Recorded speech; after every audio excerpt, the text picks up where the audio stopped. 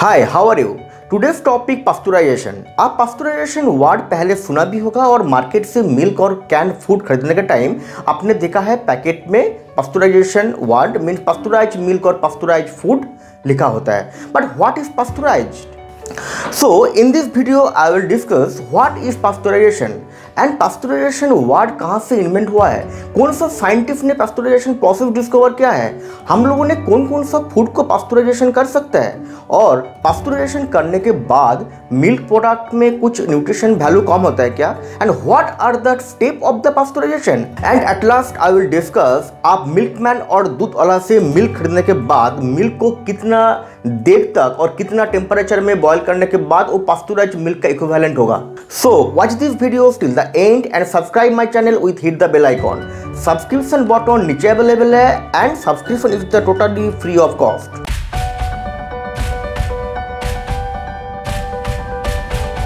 First of all, I will discuss what is pasteurization. Pasteurization is heat treatment process to kill the pathogenic microorganism in dairy food product and the beverage products. Now I am discussing what is the history of pasteurization.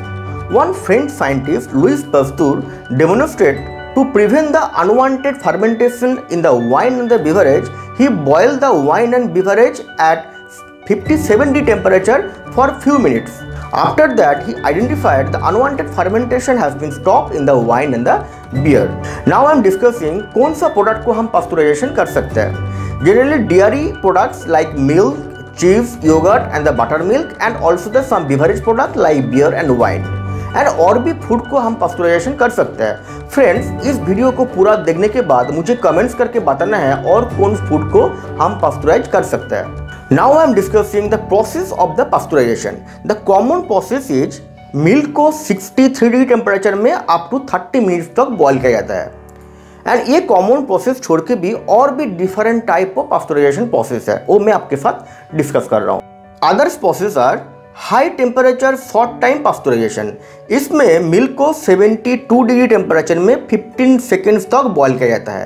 And other process are H H F T means higher heat shorter temperature इसमें milk को 80 90 temperature में 1 second 90 temperature में 0.5 second 94 degree temperature में 0.1 second 96 degree temperature में 0.05 second, and 100 degree temperature में 0.1 second तक boil किया जाता है।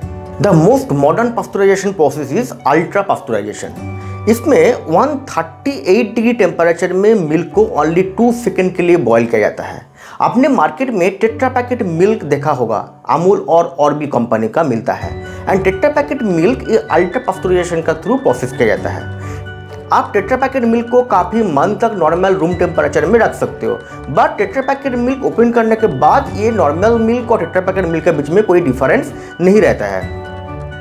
पास्टराइजेशन प्रोसेस में time and the temperature is the very important parameter because milk में mycobacterium tuberculosis and also some pathogenic bacteria and कुछ नॉन स्पोर्ट बैक्टीरिया रहता है, जिसको किल करने के लिए specific temperature and the time is very required now I am discussing the purpose of the pasteurization of the milk number one to increase the milk safety for the consumer means pasteurization के बाद जो pathogenic microorganism किल हो जाता है milk में, उससे consumer का health safety रहता है.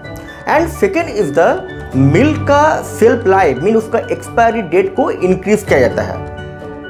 Now one big question pasteurization के बाद मिल्क का न्यूट्रिशन वैल्यू कुछ कम होता है क्या? एज पर सीडीसी पास्टराइजेशन के बाद मिल्क का न्यूट्रिशन वैल्यू कुछ कम नहीं होता है। जितना मिनरल्स कंटेंट रहता है मिल्क में मिनरल्स कंटेंट कुछ भी कम नहीं होता है। ओनली वाइटामिन सी पास्टराइजेशन के बाद डिस्ट्रॉय हो जाता है। सो so, काफ़ी कंपनी मिल्क को पास्टराइजेशन के बाद वाइटामिन सी ऐड करता है। Now the most interesting topic दूध वाला और मिल्क मैन से रॉ मिल्क खरीदने के बाद मिल्क को कितना देर तक एंड कितना टेम्परेचर में बॉयल करना है। एज पर एक्सपर्ट मिल्क को हाई फ्लेम में means near about hundred degree temperature में बॉयल करना है up to eight to ten minutes and low flame में मीन्स 50 टू 60 टेम्परेचर में मिल्क को बॉयल करना है अप टू 30 मिनट्स देन आपका मिल्क पास्टराइज हो जाएगा. इफ़ यू थिंक आपने आज कुछ नया सीखा है then like my video and also share if you have any doubt regarding this please comments thank you